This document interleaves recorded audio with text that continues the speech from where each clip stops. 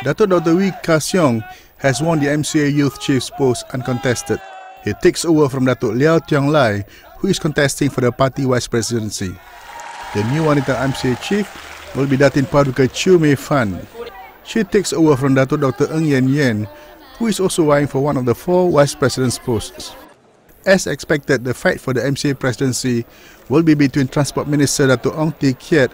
Setiap hari itu kita tak tahu apa perubahannya dan uh, sebagai calon saya hanya uh, boleh maklumkan pihak media bahawa saya akan berkempen bersungguh-sungguh sampai ke saat yang uh, saat uh, yang terakhir sebelum uh, pengundian dibuat.